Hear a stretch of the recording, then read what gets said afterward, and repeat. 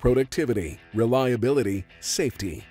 Panduit Heat Trace Wave-Ty makes installation of electric heat trace quicker and easier and significantly reduces risk of injury due to puncture and repetitive motion. Heat trace wave ties are suitable for a wide range of applications in oil and gas, liquid natural gas, LNG, chemical manufacturing, and other heavy industries. Primary applications for mineral insulated heat trace include process temperature maintenance and freeze protection, which are commonly installed with tie wire. Panduit heat trace wave ties install two to three times faster than conventional tie wire. Heat trace wave tie offers several key safety features. Rounded edges, recessed cutoff, and no exposed hazards. Also, no twisting or pulling motion, which substantially reduces risk of RSI and CTS injury.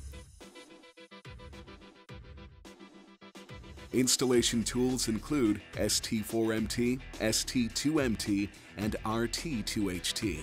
The ST4MT is our new installation tool specifically designed for the heat trace wave ties. This tool has a built-in cutting lever for clean recessed cutoff. The ST2MT installation tool is used with standard extra heavy ties.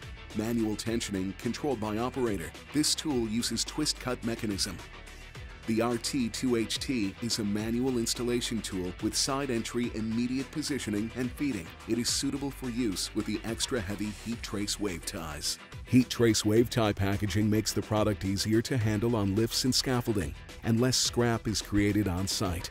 For more information, please visit panduit.com/epc.